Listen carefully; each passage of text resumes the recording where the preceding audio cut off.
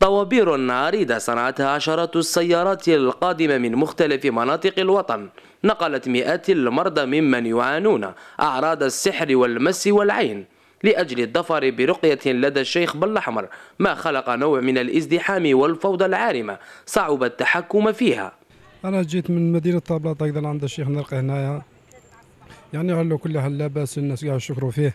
جيت مدينة بعيدة هكذا من طابلات من ديا جيت لهنا لعند الشيخ الغليزان مسلم بالأحمر.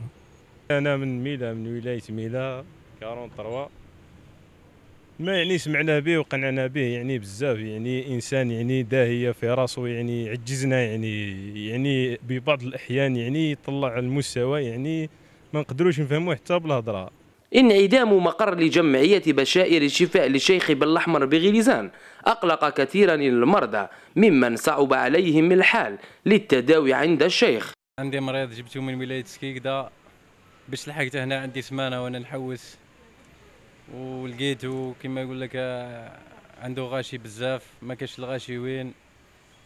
نطلبوا من الدولة انها ت- تشوف له كاش بلاصة هكذا ت- تكون مأمنة وتكون آه، وتعاونوا الدولة هي. وضع حتم على الشيخ بالأحمر استقبال قاصديه ببيته مجبر لا مخير.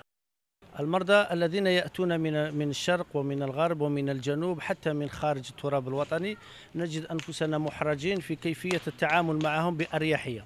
نتمنى من يتفهمنا وهذه رسالة موجهة لمن يهمه الأمر أن يمد لنا يد المساعدة.